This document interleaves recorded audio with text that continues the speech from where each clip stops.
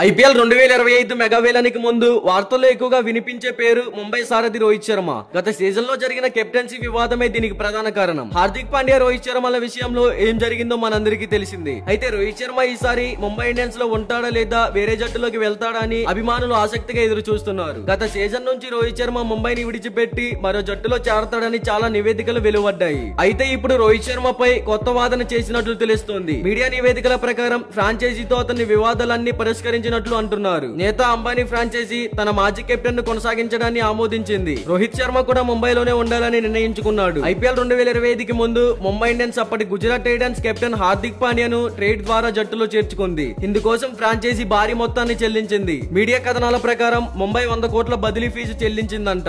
అయితే ఈ విషయాన్ని అధికారికంగా ధృవీకరించలేదు. ఆ తర్వాత ఫ్రాంచైజీ హఠాత్తుగా పాండ్యాను జట్టుకు కెప్టెన్గా చేయడంతో అభిమానులు తీవ్ర ఆగ్రహం వ్యక్తం చేశారు. ఇక్కడ నుంచే రోహిత్ శర్మ విషయంలో సమస్య కూడా మొదలయ్యింది. అయితే తాజా నివేదికలో వివాదాలన్నీ పరిష్కారం అయ్యాయని పేర్కొంది. ముంబై కుటుంబంలో రోహిత్ శర్మ ముఖ్యమైన సభ్యుడిగా ఉన్నాడని అతడిని నిలబెట్టుకోవడానికి తాము సిద్ధంగా ఉన్నామని ముంబై తెలిపింది. రోహిత్ శర్మ రెండు వేల పదమూడులో ముంబై ఇండియన్స్కు కెప్టెన్సీ అందుకున్నాడు. కెప్టెన్ అయిన వెంటనే జట్టు ట్రోఫీని కైవసం చేసుకున్నాడు. ఆ తర్వాత అతను రెండు వేల పదిహేను రెండు వేల పదిహేడు రెండు వేల పంతొమ్మిది రెండు వేల ఇరవైలలో కూడా ముంబైని ఐపీఎల్ ఛాంపియన్స్గా నిలిపాడు. అయితే అతను మళ్ళీ తదుపరి మూడు సంవత్సరాల పాటు ఐపీఎల్ ట్రోఫీని గెలుచుకోవడంలో విఫలమయ్యాడు. ఆ తర్వాత అతను తన కెప్టెన్సీని కోల్పోయాడు. రోహిత్ శర్మ రెండు వేల ఇరవై రెండులో టీమిండియా కెప్టెన్సీని పొందాడు. ఆ తర్వాత టీమిండియా వరల్డ్ టెస్ట్ ఛాంపియన్షిప్ రెండు వేల ఇరవై మూడు వరల్డ్ కప్ ఫైనల్స్ ఆడింది. రెండు వేల ఇరవై నాలుగు టీ ట్వంటీ ప్రపంచ కప్ను కైవసం చేసుకుంది. ఈ భారీ విజయం తర్వాత ముంబై అతనిని కొనసాగించవచ్చు. కానీ తదుపరి సీజన్లో అతన్ని కెప్టెన్గా చేయదని ఇప్పుడు వాదనలు వినిపిస్తున్నాయి. హార్దిక్ పాండ్యా మాత్రమే జట్టుకు నాయకత్వం వహిస్తాడంట.